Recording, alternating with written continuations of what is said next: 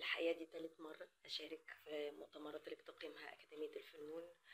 وسعيدة أكتر بموضوع المؤتمر اللي بيتكلم عن تقنية الذكاء الاصطناعي وعلاقتها بالفنون. لأنه مواكب جدا طبعا للتطور اللي حاصل دلوقتي في العالم بجانب طبعا هو موضوع كبير وشائك و... و... وليه مميزات وليه كمان عيوب.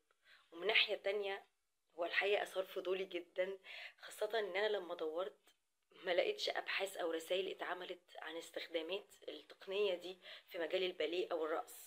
عموما يعني على حد علمي. فالصراحة ده اداني دفعة دفعة إني أدور وأبحث في المصادر الأجنبية سواء كانت مكتوبة أو مرئية يعني زي الفيديوهات. والحقيقة تعبت جدا فيه. بس الحقيقة كل ما كنت بشتغل فيه كنت بلاقي حاجات جديدة وكانت بتبهرني الصراحة وتشجعني إن أنا أشتغل فيه أكتر. ففي العرض التقديمي ده أنا هحاول بقدر الإمكان إن أختصر واعذروني إذا كنت هطول عليكم شوية بس بجد يعني الموضوع ده يستاهل و...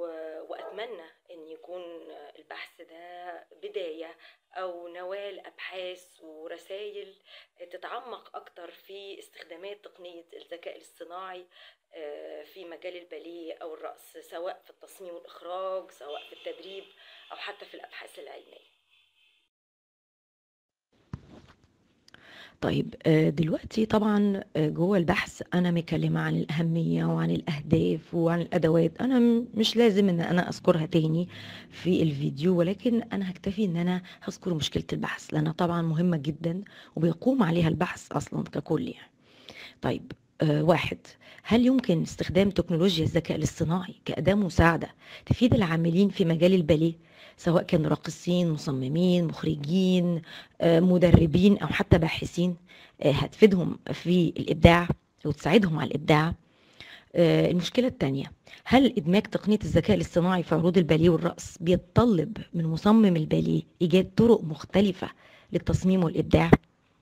ثلاثة هل يمكن أن يساعد الذكاء الاصطناعي في إيجاد صياغة جديدة لمواضيع يعني ما كانش من الممكن أو من الإمكان إن إحنا نستخدمها أو نتناولها في عروض الباليه والرقص قبل كده؟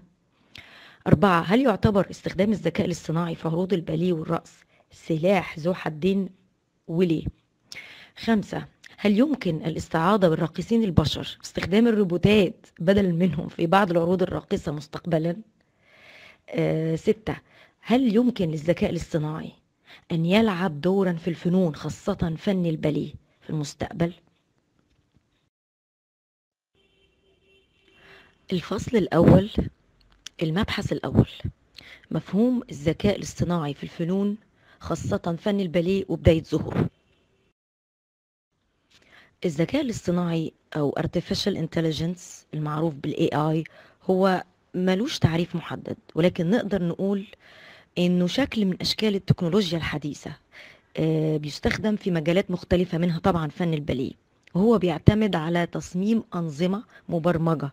بتسمح للكمبيوتر إنه يفكر ويتصرف ويستجيب يعني إنه بيحاكي القدرات الذهنية والحركية عند البشر. إزاي؟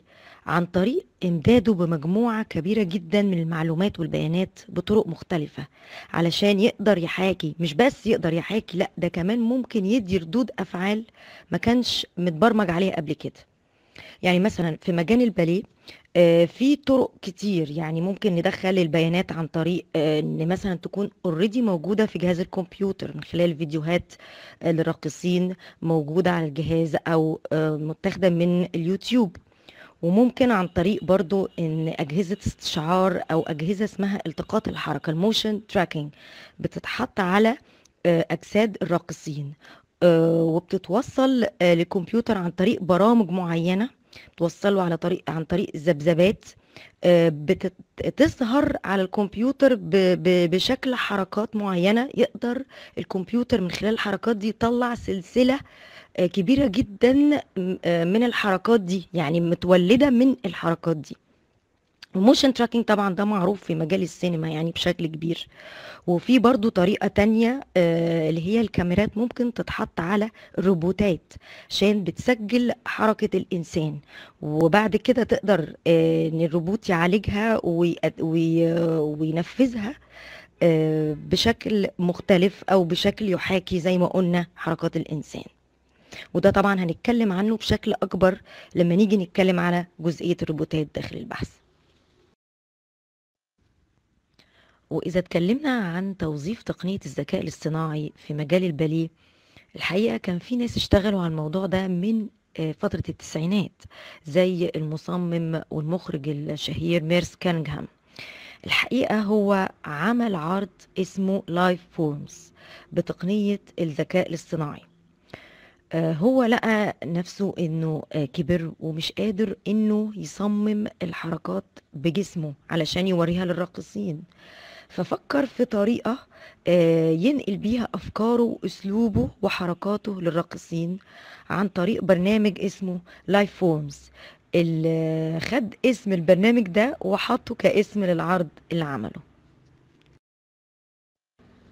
من خلال البرنامج ده قدر المصمم إنه يخلي مجموعة من الراقصين آه، يقوموا بعمل حركات آه، معينة. الحركات دي طبعا مستنبطة من أسلوبه في التصميم. آه، الحركات دي ادخلت للكمبيوتر بواسطة أجهزة بتتحط على أجزاء معينة في أجسامهم. الأجهزة دي زي الموشن تراكر اللي هي أجهزة الاستشعار أو التقاط الحركة. والحركات دي بيلقطها الكمبيوتر وبتدخل لبرنامج اسمه Life Forms من خلال البرنامج ده نقدر نحصل على سلسلة لا نهائية من الحركات اللي هي بنسميها الحركات التوليدية اللي هي مستنبطة من أسلوب المصمم نفسه. والحقيقة أنا شايفة إن الموضوع ده مهم جدا جدا وهيعمل ثورة في مجال تصميم وإخراج الباليه. لأن هيبقى فيه طرق مختلفة للتصميم ورؤية جديدة للحركات دي. ده من ناحية. ومن ناحية تانية إحنا ممكن نعمل حاجة زي الاستنباط لأسلوب معين مصمم معين. يعني مصمم ده مش موجود دلوقتي توفى مثلا. فممكن من خلال البرنامج ده أو الطريقة دي نقدر ندخل للكمبيوتر مجموعة من الحركات اللي اتعملت برؤية المصمم ده قبل كده ونطلع حركات توليدية مستوحاة من الحركات الأصلية. يعني كأن المصمم رجع للحياة مرة أخرى وصمم باليه جديد. فهل ممكن نلاقي باليه يتعمل بعد كده بتقنية الذكاء الاصطناعي يتصمم بالشكل ده؟ جايز. وعلى فكرة العروض أو الرقصات اللي بتستخدم تقنية الذكاء الاصطناعي بنقول عليها مشروع بروجكت لأن المشروع ده بيبقى نتاج تعاون بين الفنان آه، مصمم أو مخرج الباليه وبين المهندس أو العالم في مجال التكنولوجيا. وفي مثال تاني برضو المصمم مشهور جدا اسمه واين ماجريجر ومشهور باستخدامه للتكنولوجيا في عروضه خاصة تقنية الذكاء الاصطناعي. هو استخدم نفس الطريقة اللي استخدمها مارس كانينغهام آه، اللي هو إدخال ال- كمية حركات آه، بتقوم بيها الراقصين آه، عن طريق وضع المجسات أو أجهزة التقاط الحركة والاستشعار. على آه، نقط معينة في جسمهم تدخل الكمبيوتر آه، بواسطة برامج معينة بتقنية الذكاء الاصطناعي بحيث إن هي تطلع سلسلة كبيرة جدا زي ما قلنا حوالي 40 ألف تكرار آه، كأنها صور بديلة من وحي الحركة اللي ادخلت اللي مستنبطة من أسلوب المصمم أو المخرج. في بقى مشروع اسمه Fusion أو الانصهار. ده اتعمل برضو بتقنية الذكاء الاصطناعي بس اتعمل بشكل غريب جدا. إحنا عارفين المخرج أو مصمم باليه هو اللي بيدي دايما ال order أو بيدي الأوامر للراقصين يروحوا آه، في الاتجاه الفلاني أو يتحركوا إزاي. هنا آه، تقنية الذكاء الاصطناعي هي اللي كانت بتتكلم هي اللي كانت بتوجه الراقصين. يعني هنا التقنية دي حلت محل المخرج فبالتالي الصوت اللي كان بيتقال أثناء العرض ده مش مش صوت لبشر أو مش صوت لمخرج آه، حقيقي لا ده كان صوت معمول بتقنية الذكاء الاصطناعي. فالحقيقة إن إن النوع ده من العروض آه، خلق نوع آه، من الحوار بين البشر والذكاء الاصطناعي وده ادانا منظور جديد ومختلف لشكل الحركة والتعبير والفن عموما يعني. المبحث الثاني استخدام تقنية الذكاء الاصطناعي كأداة مساعدة في تصميم الرقصات تعليم الباليه وإعداد البحوث العلمية. في المبحث ده بتكلم عن استخدامات تقنية الذكاء الاصطناعي في مجال الباليه. الحقيقة ليها ثلاث استخدامات مختلفة. أول استخدام في مجال التصميم والإخراج زي ما قلنا شرحنا قبل كده إزاي بندخل بيانات أو حركات آه، بيقوم بيها الراقصين أو مثلا تدخل عن طريق فيديوهات آه، من اليوتيوب آه، عن طريق برامج معينة مزودة بتقنية الذكاء الاصطناعي والكلام ده وإزاي بنستفيد منه إن لو مثلا المصمم أو المخرج عايز ينقل تصور معين ومش قادر لأنه كبر في السن أو عايز يطلع رؤى مختلفة في ان الحركة الواحدة؟ عايز يشوف رؤية مختلفة غير غير إبداعه هو. يعني كأداة مسا- مساعدة لي في الإبداع. أما الاستخدام التاني فبنقدر نستخدمه في تعليم فن الباليه إحنا طبعا فاكرين إن وقت آه، جائحة كورونا ظهرت الحاجة لتعليم الباليه عبر برامج مثلا زي ال Zoom meeting ومن الوقت ده اتطورت برامج تعليم الباليه لغاية دلوقتي. يعني آه، مثلا في الوقت ده في ناس مثلا كبيرة في السن أو عندها أمراض معينة أو مثلا سيدات العاملات لقت إن حصص الباليه الأونلاين مفيدة بالنسبة لهم بشكل ما. يعني بدل ما هم ينزلوا أو يحضروا هم مثلا ما يقدروش لظروف صحية أو لظروف إن هم ما عندهمش وقت. ممكن إن هم يحضروا حصص الباليه على الأقل آه، يحصلوا على الحد الأدنى من ال- التعليم آه، الباليه. طبعا إحنا عارفين إن موضوع التعليم الباليه ده موضوع طبعا كبير جدا و- و- وأساسي حضور المتدرب أو الراقص لحصص الباليه. بس زي ما قلنا إن في بعض الظروف بنلجأ آه، للبرامج اللي عن طريق الإنترنت. طيب من الوقت ده آه، ظهرت طرق بقى مختلفة آه، أو تكنيك مختلف اسمه الذكاء الاصطناعي توليدي. التقنية دي ابتدت تساعد المدرسين أو معلمين الباليه على تصميم رقصات أو حركات مناسبة لفئة معينة أو أي فئة خاصة زي كبار السن زي ما قلنا قبل كده. آه، تاني طريقة اللي هي ال motion tracker أو أداة تعقب الحركة بتتحط على جسم المتدرب زي الراقص. بس في الحالة دي الهدف منها مش الهدف إن أنا بطلع منها حركات مختلفة زي التصميم لا أنا هنا الهدف إن أنا أحلل الحركة وأقول أخطاء المتدرب يعني كأنها تغذية راجعة. وتالت تقنية في التعليم الباليه هي تقنية الواقع الافتراضي. أو الواقع المعزز. ده يفيد بقى في حالة إن المتدرب مثلا عايز يحس إن هو جوه جو صالة الباليه وإن هو كأنه حاضر بالفعل آه، في صالة الباليه بس هو مش موجود. بس هو بي هو بيتمرن من خلال البيت مثلا فهو بيلبس نظارة افتراضية و- وبينفذ الحركات اللي بتتم في الحصة بس من خلال النظارة دي هو كأنه موجود في صالة الباليه نفسها. والحقيقة أنا بشوف إن موضوع تعليم الباليه عن طريق تقنية الذكاء الاصطناعي آه، عن طريق الأونلاين والاستخدامات اللي إحنا قلنا عليها ده موضوع شائك شوية. غير الاستخدام الأولاني اللي هو تصميم وإخراج الباليه ده بيتطلب إن إحنا نعمل أبحاث متعمقة في الموضوع ده شوية. لأنه مش صح مليون في المية إن أنا أعلم الباليه عن طريق الأونلاين. يعني أنا بصفتي دكتورة في معهد الباليه وكنت soliste أول فرقة باليه أوبرا القاهرة لمدة 15 سنة. شايفة إن إحنا إذا لجأنا للموضوع ده لازم يكون مدروس وليه ضوابط معينة. يعني لازم يتعمل منهج خاص بكلاسات الأونلاين. مختلف عن كلاسات اللي هي اللي بتتعمل في حضور ال- الم- المدرب والمتدرب. آه، بس برضو عشان نبقى واضحين إن ساعات حصص تعليم الباليه بتبقى مفيدة في بعض الأحيان لما بيبقى في ظروف معينة في البلد ظروف زي مثلا كورونا أو أو مثلا ظروف المتدرب ما بيقدرش يحضر فعلى الأقل أنا بوفر له حد أدنى من اللياقة. آه، معرفة أساسية لأوضاع القدم وأوضاع الإيدين الأساسية مثلا في فن الباليه. بس ما أقدرش أتعمق قوي في تعليم الباليه وأقول إن أنا أقدر أطلع آه، راقص أو آه، متدرب professional أو محترف مليون في المية عن طريق الأونلاين. لا آه، استخدام وآخر استخدام لتقنية الذكاء الاصطناعي في مجال الباليه هو في مجال الأبحاث العلمية. والحقيقة يعني المجال ده برضو عامل ثورة كبيرة جدا جدا. و... وأنا شايفة إن الفكرة ببساطة إن هي بتساعد أو بتسهل على الباحث إنه يعمل البحث بتاعه. يعني التقنية دي بتوفر وقت ومجهود لأنها بتحط frame أو إطار مبدئي آه، بيسهل على الباحث بعد كده إن هو يشتغل في البحث بتاعه. يعني فكرة برضو التقنية دي إن هي بتاخد بيانات عن حاجة معينة مثلا زي إن هو عايز يعمل شخصية مشهورة في مجال الباليه. من خلال الانترنت أو من خلال data هو اللي يدخلها بنفسه آه للكمبيوتر. وبالتالي بعد كده هي ممكن تعمل له كمان برزنتيشن أو عرض تقديمي بشكل مبدئي وهو بعد كده ينظم الموضوع ده. فأنا شايفة إن هي بت بت بتوفر وقت وبتسهل على الباحث أو الفنان عموما آه، إن هو يأدي عمله.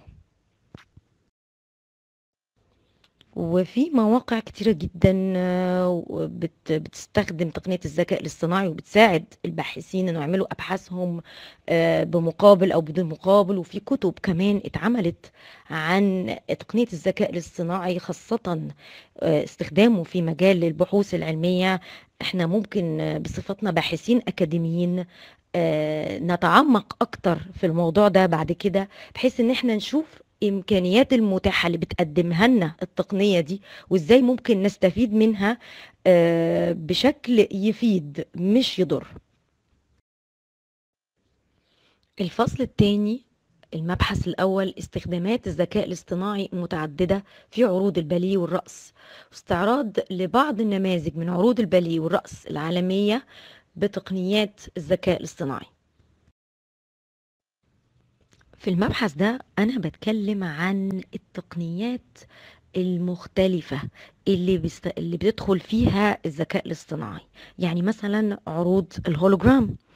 إحنا عارفين إن عروض آه، اللي بتستخدم تقنية الهولوجرام أو الإسقاط المجسم ثلاثي الأبعاد دي مش تقنية جديدة قوي. دي بتستخدم من فترة خاصة في مجال الدعاية والإعلان ودخلت مؤخرا في مجال الباليه. وهي طبعا تقنية مكلفة جدا ولكن هي الصراحة آه، ممتعة جدا للمشاهد لأن هي بتدي رؤية مزدوجة.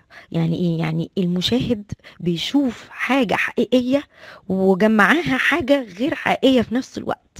فكأن السينما والمسرح اتقابلوا مع بعض. في بقى العروض التفاعلية ودي برضو بتستخدم تقنية الذكاء الاصطناعي بتستخدمها على كذا مرحلة. أول مرحلة هي مرحلة الرقمنة يعني برضو بستخدم كاميرات الاستشعار أو أدوات التقاط الحركة اللي بتبقى على أجسام الراقصين تاني مرحلة بنستخدم البرامج اللي على الكمبيوتر اللي آه، بتدخل فيها الحركات وبتقدر تعمل التغييرات الممكنة اللي ممكن تتعمل عليها. آخر مرحلة بقى في العروض دي استخدام الأجهزة العرض ثلاثية الأبعاد اللي بتسقط على المسرح على شاشات آه، مرئية أو غير مرئية.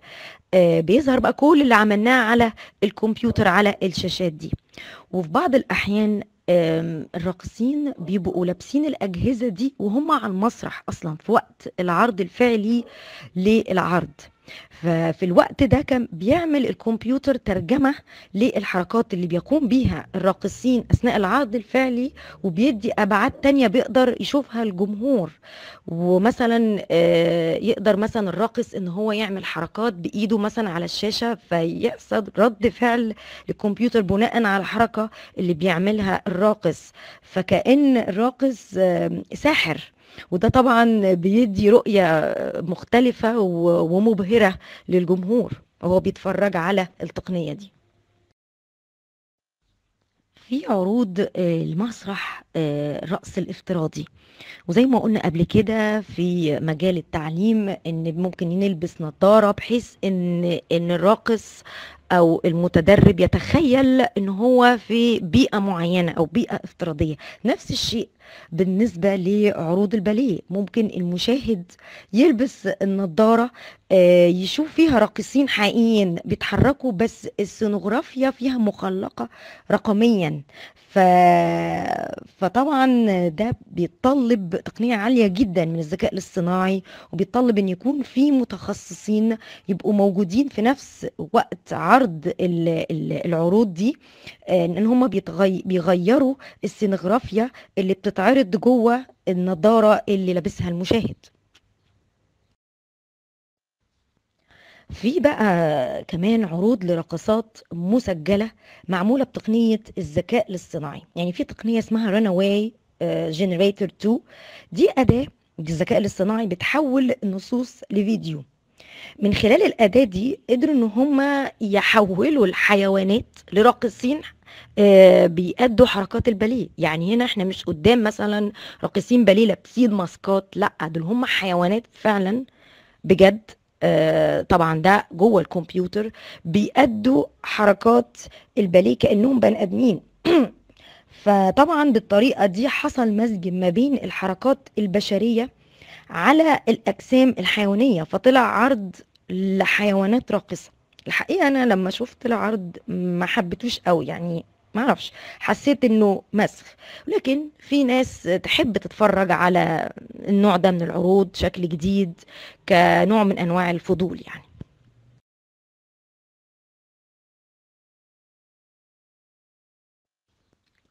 في بقى عرض آه، أنا شايفاه غريب جدا جدا. إحنا متعودين دايما إن راقصين الباليه هم بيمشوا على المزيكا أو بيتبعوا المزيكا. هنا بقى الموضوع بقى العكس تماما. يعني إيه؟ يعني الراقص هو اللي بيمشي المزيكا بناء على خطواته وحركات جسمه. بتقنية الذكاء الاصطناعي اللي عملتها شركة ياماها اليابانية قدرت إن هي تطور طريقة تخلي راقص محطوط على جسمه مجسات معينة بينقل ذبذبات معينة كل ما يتحرك بينقلها للبيانو. فبتترجم الحركات الموسيقية لنوت موسيقية تتعزف. فلاقي البيانو كأنه بيعزف لوحده. يعني كأنه بيعزف الراقص بيعزف على البيانو بجسمه. والرقصة دي الحقيقة عجبتني جدا جدا وأتمنى إن أنتوا تشوفوها وهعرض منها وهعرض جزء منها في البحث ده.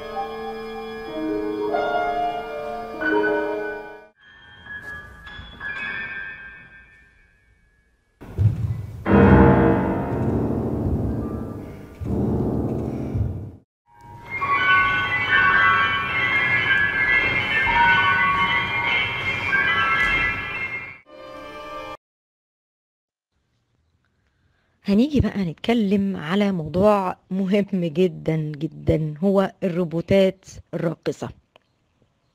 هنلاحظ إن هنا فن الرقص اندمج مع علم هندسة الميكانيكا. يعني هنا المزج بين الفن والعلم في أبهى صوره. حاجة غريبة جدا إن إحنا نلاقي روبوتات بترقص. طب إزاي؟ الفكرة إن الروبوتات دي عندها مجموعة كبيرة جدا من الكاميرات وأجهزة الاستشعار. وكل ما زادت الأجهزة دي كل ما كانت عملية المحاكاة أقرب للواقع أو أقرب بشكل أصح لحركات ال- البشر.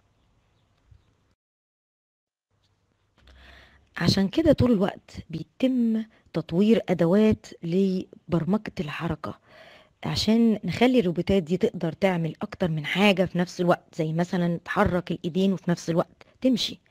فأنا حابة أتكلم عن شكل الروبوتات دي آه يعني يعني في روبوتات على شكل الإنسان كأنها إنسان آلي وفي روبوتات على شكل الكلاب. بنقول عليها روبوتات رباعية الأرجل أو الكلاب الروبوتية الراقصة. يعني في أجيال مختلفة من الروبوتات بإمكانيات مختلفة. فمثلا بالنسبة للروبوتات على شكل الإنسان الآلي دي ممكن روبوتات ترقص مع بعضها أو ترقص مع الإنسان. أنا من خلال مشاهدتي لرقصة ثنائية بين الإنسان وروبوت آه، لاحظت إن الروبوتات دي بتنفذ الحركة بدقة كبيرة جدا. يعني إحنا في العادي بنقعد شهور عشان نتدرب على حركة معينة تتعمل بشكل معين وفي الآخر برضو ممكن نغلط لكن الروبوتات دي ما بتغلطش. ولكن عندها عيب كبير جدا. إن ما فيهاش روح ما فيهاش آه، انفعال سواء على الجسم أو على الوش زي البني آدمين. فهل ممكن آه، تطور تقنية الذكاء الاصطناعي إن الروبوتات دي تقدر تنفعل وتتأثر زي البني آدمين؟ مش عارفين بس أنا متأكدة من حاجة إن إحنا عمرنا ما هنقدر نتفرج مثلا على باليه زي بحيرة البجع آه، بالروبوتات. يعني ما نقدرش روبوتات ناس نتفرج على روبوتات بترقص بحيرة البجع وتلبس التوتيهات وتلبس البوانت مش مش هن مش هنقدر نستسيغها. يعني ف ولكن ولكن إزاي ممكن نوظف الروبوتات دي بحيث إن إحنا نقدر نشوفها ونستوعبها ونستمتع بيها وهي بترقص؟ ده هنتعرف عليه في المبحث الثالث المبحث الثاني الذكاء الاصطناعي وتأثيره على الإبداع الفني الراقص في المبحث ده أنا بتكلم على تأثير تقنية الذكاء الاصطناعي على الإبداع الفني الراقص يعني بتكلم على مخاطر ومزايا الذكاء الاصطناعي. يعني بالنسبة للباليه أو الرقص ساعات بيتم استغلال ال- ال- الحركات بتاعة الراقصين آه، بدون علمهم. مثلا. يعني آه، ممكن يستغل مثلا تصميم باليه معين بدون علم المصمم من خلال الفيديوهات الموجودة على مواقع اليوتيوب. ومن هنا لابد إن يكون في آلية للحفاظ على الملكية الجسدية أو الملكية الإبداعية زي الملكية الفكرية في المجالات الفنية الأخرى زي الكتابة والرسم والتصوير. وعلى الناحية التانية أنا بشوف إن ممكن أداة الذكاء الاصطناعي تبقى أداة مفيدة جدا للفنان لأنها بتوفر جهد وبتوفر وقت وممكن بتوفر كمان رؤى مختلفة آه، في مجال التصميم والإخراج زي ما قلنا قبل كده. إذا استخدمناها بشكل صحيح ما يضرش. وفي نفس الوقت نحافظ على حقوق الفنان سواء كان راقص أو مصمم أو حتى كمان باحث في مجال الباليه أو في أي مجال آخر. ففكرة إن الذكاء الاصطناعي بيلغي الإبداع ده مش صحيح لأن المبدع هو اللي صمم الأداة دي عشان تساعده. فإزاي الأداة دي ممكن تلغيه؟ فهو الأساس سواء كان مبدع في مجال الباليه أو في أي مجال آخر. فلكن فكرة إزاي أطوع الأداة دي هي دي المعضلة الأساسية اللي أنا شايفة إن لازم يتعمل عليها الفترة الجاية أبحاث ودراسات كتيرة جدا عشان نشوف الطرق المناسبة للاستفادة من تقنية الذكاء الاصطناعي في مجال الباليه أو في مجال الفنون عموما. المبحث الثالث كيفية تطويع الذكاء الاصطناعي لخدمة الفنون في المستقبل خاصة فن الباليه في المبحث ده بنتكلم عن كيفية تطويع الذكاء الاصطناعي لخدمة الفنون خاصة فن الباليه طيب إحنا كنا بنتكلم قبل كده عن إزاي ممكن نستخدم أو نستغل تقنية الذكاء الاصطناعي في عروض الباليه يعني مثلا ممكن نستخدمه زي السينما. يعني إيه؟ يعني في موضوعات زي الخيال العلمي أو موضوعات ما وراء الطبيعة أو موضوعات أفلام الرعب بتاعت هيتشكوك تشارلز ديكنز. يعني ليه ما نعملش عروض باليه أو عروض musical عن الحاجات دي؟ إحنا ما كناش نقدر نستخدمها كمواضيع قبل كده. لكن بتقنيات الذكاء الاصطناعي المختلفة سواء آه، آه، هولوجرام سواء ال- التقنيات آه، بتاعت العروض التفاعلية أو أو آه، نقدر نقدر كمان نستخدم الروبوتات. كل ده ممكن نحققه. يعني إن إحنا ننقل السينما على المسرح. ده كمان ممكن نعمل موضوعات عن التاريخ الفرعوني عن مثلا ملوك الفراعنة أو عروض باليه تتعمل مثلا جوه الهرم بتقنية الواقع الافتراضي. يعني أنا مش محتاجة أقول إن ده ممكن يعمل ثورة في مجال السياحة في مصر وممكن يجذب السياح من مختلف أنحاء العالم آه لأن هيتفرجوا على عروض مختلفة تماما شكلا ومضمونا. يبقى الفكرة إن مخرج أو مصمم الباليه يقدر يدور على سيناريو أو libretto مناسب.